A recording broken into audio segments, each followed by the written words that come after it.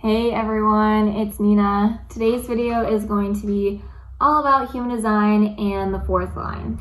As a 4-6 emotional manifestor, this has been something that's been very conscious for me my entire life. So as a fourth line, I have always loved to be around people. I've loved to be the person that has um, like get-togethers and host parties at my house and bring all of my friends together and just kind of like drag people into my experiences because as someone with a, a conscious fourth line in their profile, it's just much more apparent to me like how important my network is and the type of people that I hang out with and the quality of people that I hang out with. And so it's definitely shifted over the years, uh, being a 4-6, um, coming onto the roof. And that's something I'll actually talk about in another video where being a 4-6 can be kind of devastating because as you go onto the roof, you realize that all of the people and jobs and hobbies, well, maybe not all the hobbies, but like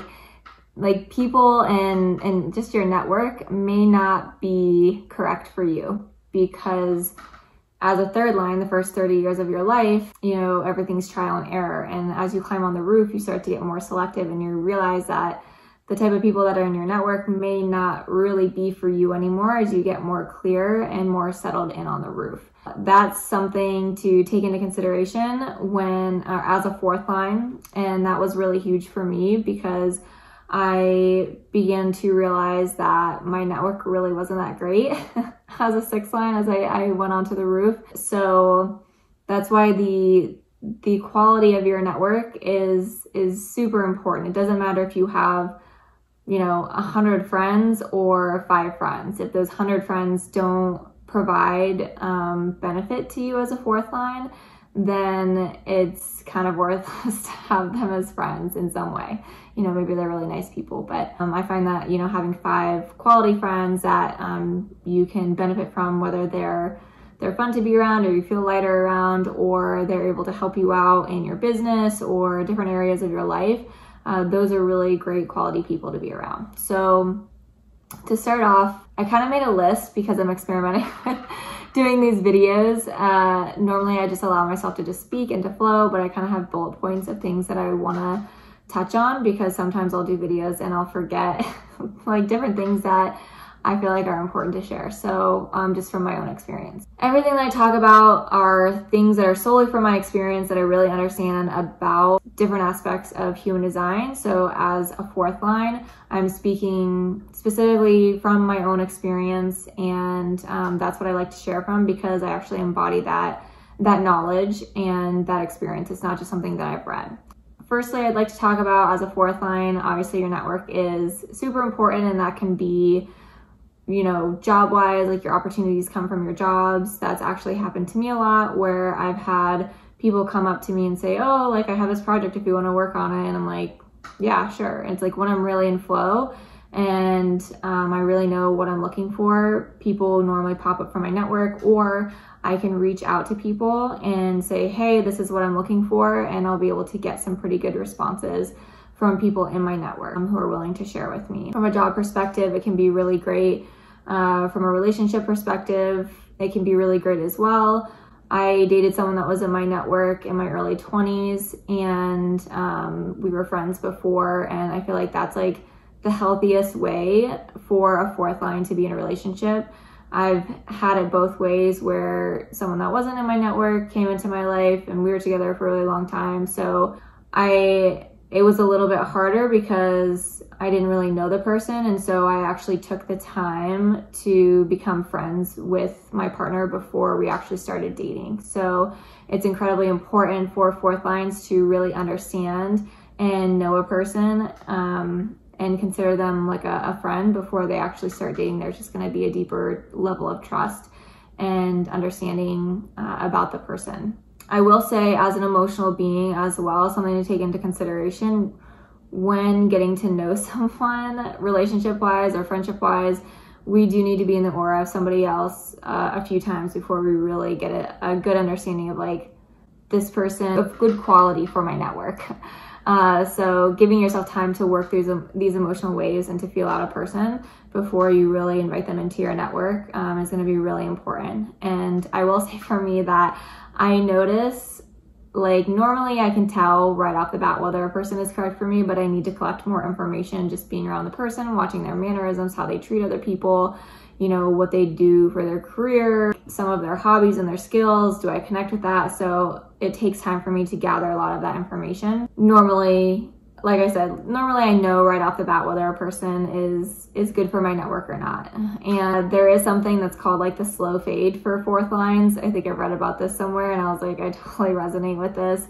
It's um it's like when you realize someone isn't who you really want to be in your network. Say you're you're at a networking event and you go around and you meet different people and some that you really connect with and others that maybe not so much, but maybe they connect with you a lot and you pretend to be interested like you're you're a social being as a fourth line you're super social and you're just being nice to everyone and you're kind of like the life of the party sometimes and that say someone's like interested in you there's kind of like a slow fade of you being like yeah yeah everything's really great like you're a great friend and then it's like you're like, mm, maybe this person isn't right for me. And it's not like you're trying to be mean. It's just kind of like a natural progression where you're just like realizing over time, like, nah, this person isn't isn't really correct for me.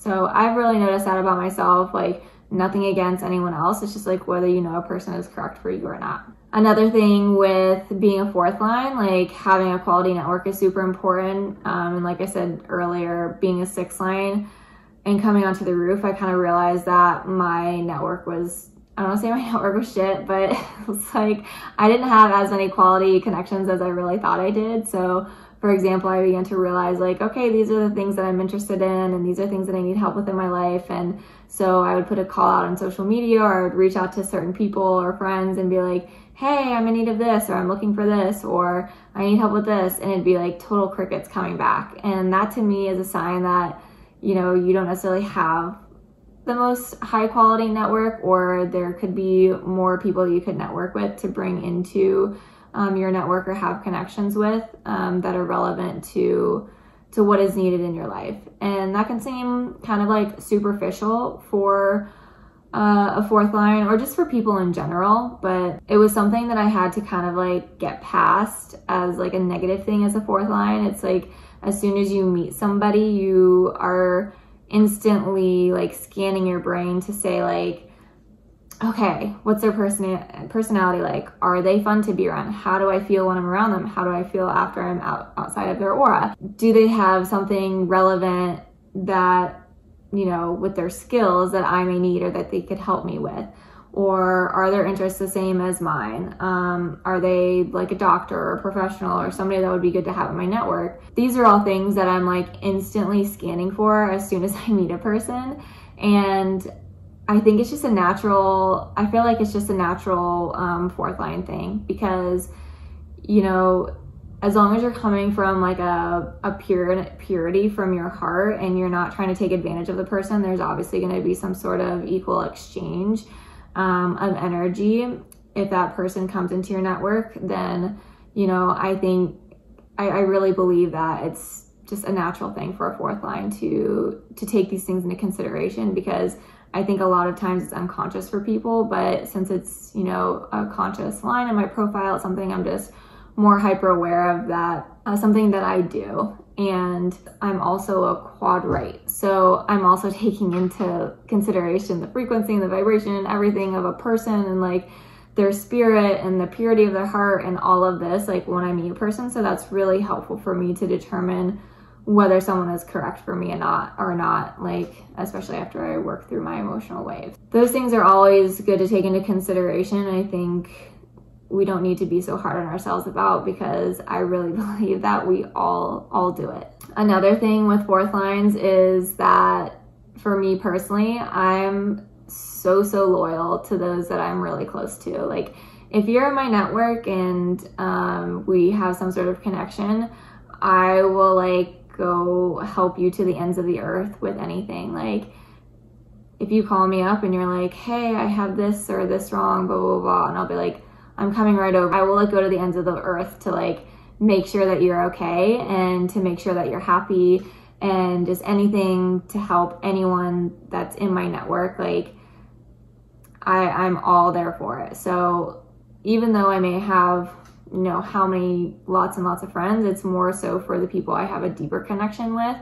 But I am pretty loyal and I am willing to really help out the people who are in my network. Um, and maybe that has something to do with with my open heart as well. And another thing about being a fourth line is uh, we just love to be around people, but we do need this time to regenerate. We need time to be alone. We need time to kind of go back into our shells a little bit. And I just know for me personally, as a non sacral being, it can be overwhelming to be around a lot of generators and all of that sacral energy. And so I can get really hyped up on it when I'm really in the mood, going through my emotional wave, and I just really, really want to be around people and I want to interact with other people. And then I leave and I'm like, wow, I really didn't have that, really wasn't my energy to, be used. So it's something to be mindful of as a fourth line if you're not a sacral being that when you're in the mood to be social or when you're out being social, um, just knowing when enough is enough those are probably like all my top things that I have to say about being a fourth line. I love being a fourth line. I love being around other people. I love sharing all of my experiences as someone with the 3536 channel. Uh, I will actually do another video on that as well to talk about more detail, but I'm just, I constantly want to bring everyone into my experiences to have the same experience as me because I love adventures and I love learning new things and I think that everyone around me should be learning and experiences experiencing the same thing as me because I want them to to bring them into that place of curiosity and innocence and purity of discovering something new for the first time. And so uh, I will say that I've had to be more selective with the types of experiences that I bring people into and bring people from my network into because I'm realizing not everyone wants to have these same experiences as me.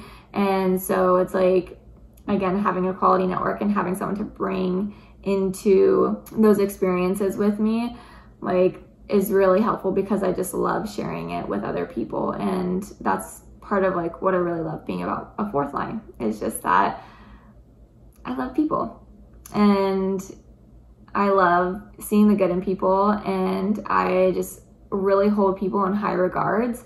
And so I just want to bring people into my network all the time. And so I feel like if I choose a person, it's, you know, obviously there are the mechanics of a chart, and if we have more electromagnetic channels, or maybe there's some not self stuff thrown in there as well. But you know, I'm, I'm want to bring you into my network and I'm want to love on you and be loyal to you and be so excited to be around you. Um, so I think that's just the lovable trait of a fourth line. We're just, we just love being around other people. So this has been my experience so far as a fourth line and I'm sure I will remember a lot more after this video. So if that's the case, then I'll just make another one. But I'm curious what everyone else's experience is as a fourth line and, you know, if you have anything that you'd like to add, maybe I, I didn't speak to, or maybe resonate with this, or maybe you're more of a hermit and you don't experience so much of the fourth line as like a 2-4 or something. But uh, I know that there are some similarities as well, or things that you may not be aware of if your line is unconscious. So since my line 4 is conscious, it's something I'm more hyper aware of uh, in my life. So, all right, thank you guys so much for watching, and I will see you in the next video.